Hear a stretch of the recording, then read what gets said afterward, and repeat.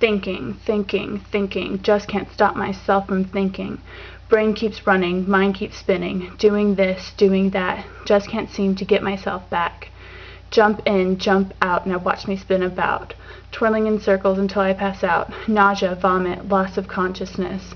Stop these thoughts, stop this stride, just let me run and hide. Forget it all so I can decide. No more thinking, no more wondering, no more debating. This or that, which is the right path?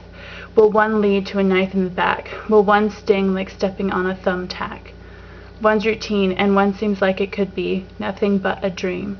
A dream of this, a dream of that. I'm so tired of living in the past. Write this, write that, write it all until some spirit hears my call and takes me away from it all to a place where I can stay, a place so very far away. Don't want to hurt anyone, just want them all to have fun. Damn this heart, damn these feelings, rip it out and stomp about until there is nothing left to think about. Thinking, thinking, thinking. All I do anymore is think. I can't even blink without a thought of what could be, what is, what may happen, what pain, what bliss. What's the point of any of this? So many thoughts, so few answers. Sleep? Sleep is for the weak live inside my brain until these thoughts fade away like rain. No more thoughts, no more actions, no pain, no gain.